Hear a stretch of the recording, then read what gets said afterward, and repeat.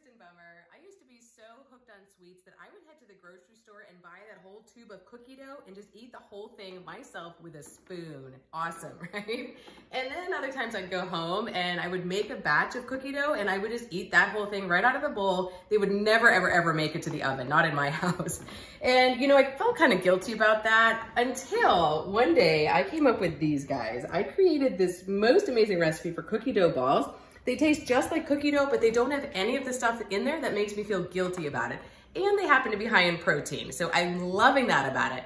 I'm so loving it that I'm going to be giving away this new recipe to anyone that joins the next 14 day reboot challenge. So if you're thinking about joining, now would be a great time to do it. Get this new recipe as a bonus right away. They're amazing.